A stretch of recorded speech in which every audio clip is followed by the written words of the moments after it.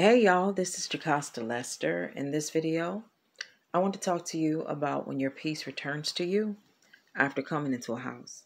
So let's say you come into a house and you come in to preach the gospel, you come in to be a Christian there, you come in to be a representative of Jesus Christ.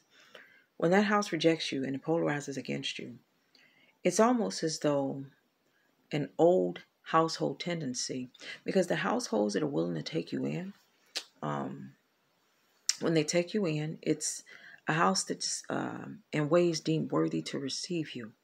When you come to a city, you're supposed to inquire about who's worthy to take you in. Okay? So you find yourself in these houses, right? And when you've come to these houses and they've been deemed worthy to take you in, what were the issues in your marriages? What were the issues in your families? What were the issues in places where you've left those things behind to follow Christ? When your peace returns to you, those things may rear their ugly heads in those houses. So you can look around at those people as basically all those old people that are all those old tendencies, those old spiritual natures, those things that were bad about the houses that you left, um, the things that you've left behind to follow Jesus. That house, the state of that house is basically that.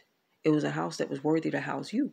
you were born of these people. You lived among these people. You married these people.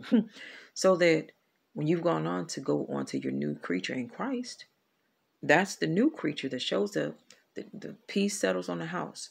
But when that house says, Yeah, we reject you, nah, then all the people that felt worthy and entitled to you, you start to see some faces that look familiar. When you know that a house rejects you, it looks like some old ragtag stuff that you've been dealing with for years that you don't want to deal with no more.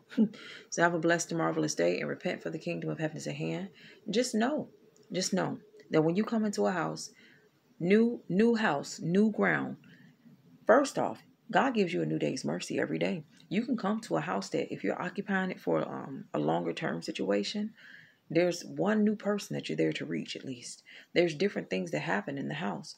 But when that house rejects you, when that house is ready to throw you out, when the house becomes hostile, the polarization happens, your peace returns to you.